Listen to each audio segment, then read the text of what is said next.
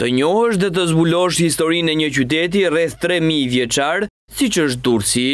Ky ishte qëllimi i guidës turistike që bëri bashkë komunitetin italian, që prej disa kohësh është vendosur për të jetuar në këtë vend, duke e cilësuar si një përvojë të veçantë Arkeologu Jani Koçillari tregon se ka shumë interes nga të gjithë grupmoshat për ta eksploruar qytetin. Kjo është një lloj nisme e re, në kuptimin e e kemi bë edhe në edhe në vitin edhe në vitin dy mijë e njëzet e tre, po kjo është një gjë e veçantë, vazhdojmë për të për të treguar, sidomos komunitetit italian, edhe unë vetë nga një jam edhe italian, për të treguar pasurinë kulturore që ka që ka Durrësi.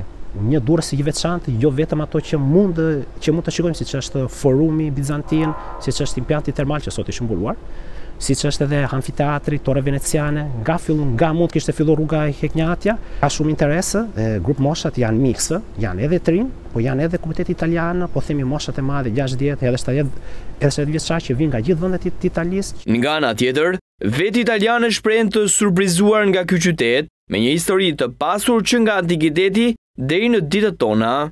Ne jemi rezidentë këtu dhe Durrësi na ka mirëpritur, ndaj kemi dëshirë të njohim qytetin dhe historinë e këtij populli që kemi zgjedhur, të këtij vendi ku kemi vendosur të jetojmë. Historia e këtij vendi na tërheq, na intereson, Duam dhe ne të jemi pjesë e historisë, ndaj na pëlqen të thellojmë njohurinë mbi kulturën, që na bëjnë të ndihemi pjesë të popullit shqiptar. Prej një viti e gjysmë jetojmë këtu, kemi parë mikpritjen, vlerat e familjes dhe e miqësisë dhe si po ndryshon Shqipëria. Duke qenë se e njohim pak historinë, kjo është një mundësi për të zbuluar vlerat. Ka monumente që ti shkon por nuk di më shumë. se si janë ndërtuar, pse janë aty, cilat janë vlerat që kanë, ndaj kjo është një mundësi për të njohur e mësuar. Gjithnjë e më shumë, pasuria kulturore e bën Durrësin pjesë të shumicës së guidave turistike, si dhe një destinacion për t'u zbuluar në çdo stinë të vitit.